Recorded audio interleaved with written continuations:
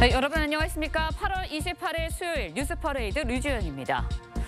2월 전공의 집단 이탈로 시작된 의료 파행 6개월을 넘기고 있습니다.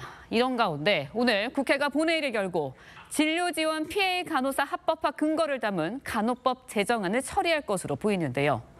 응급실 뺑뺑이 등 장기화되고 있는 의료 공백 사태를 해소하기 위해 여야가 모처럼 머리를 맞댄 건데 간호사가 대다수를 차지하고 있는 보건의료노조가 내일 총파업을 예고한 상황에서 어떤 영향을 미칠지 주목되고 있습니다. 첫 소식 김창섭 기자의 보도입니다. 여야 간 합의에 따라 간호법 제정안이 국회 보건복지위원회 법안 소위를 통과했습니다.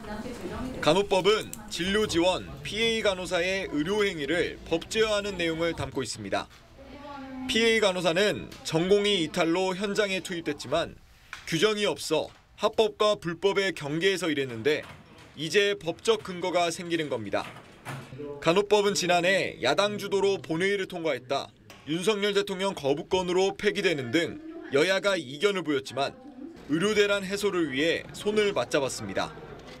여당은 PA 간호사의 업무 범위를 간호법으로, 야당은 시행령으로 규정하자고 맞섰는데 보건복지부령으로 정하기로 합의했습니다. 이견을 드러낸 간호조무사 학력 기준도 추후 논의하기로 했습니다. 간호법은 오후 본회의에서 처리될 전망입니다. 다만 의사단체들은 PA 간호사가 전공의를 대체할 수 없다며 반발했습니다. 간호법 제정 시도를 즉각 중단할 것을 강력히 촉구합니다. 눈물을 머금고 의료를 멈출 수밖에 없습니다. 간호사가 대다수를 차지하는 보건의료노조가 내일 총파업을 예고한 상황에서 간호법 통과가 파업에 어떤 영향을 미칠지 주목됩니다. TV조선 김창섭입니다.